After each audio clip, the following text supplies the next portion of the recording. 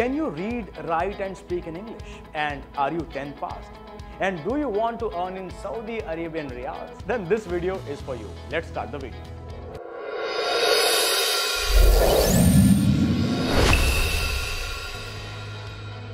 Well, talking about the company first, my friend, it's a very well reputed company. It is among the leading printing presses in Saudi Arabia and number one printing press in Dubai. The company provides best solutions in terms of graphic designs, accurate printing, and the art of marketing with high quality materials. Now, it's your chance to grab the opportunity and visit this country and make more money. So now let's quickly take a look at the job positions that they are hiring for. Number one, packaging, loading and unloading workers.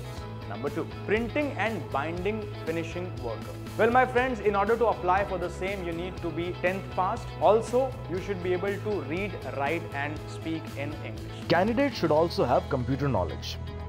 For all the above mentioned job positions, the salary will be 1500 Saudi Arabian riyal. Not only this, you'll be getting a lot of other benefits apart from this salary. You'll be getting free food from the company, you'll be getting accommodation from the company, you'll be getting free transportation and you will be getting medical insurance as well. Also my friends, the age criteria to apply for this positions is 21 to 26 that is you should be in between 21 to 26 years of age. Talking about the shortlisting my friends the shortlisting is going on right now. So do not wait more. Update your cv and apply as soon as possible. The details are mentioned on your screen. Also we'll mention the same things in the description too once you're shortlisted, my friends, the final interview will be an online interview from Kathmandu. If you think that you are the right fit for these job positions, do apply as soon as possible. Also, do follow us on various social media platforms.